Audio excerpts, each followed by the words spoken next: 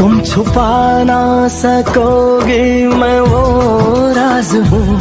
तुम भुला ना सकोगे, वो अंदाज हूँ। गूंजता हूँ जो दिल में तो है, राह क्यों?